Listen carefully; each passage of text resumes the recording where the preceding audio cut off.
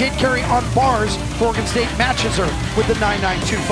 She's a fierce competitor in the anchor spot in every event, I believe, and you know, she can be counted on in any situation, and this meet was the meet to do it. She's A fierce, solid competitor. She's driven in everything that she does. Dismount.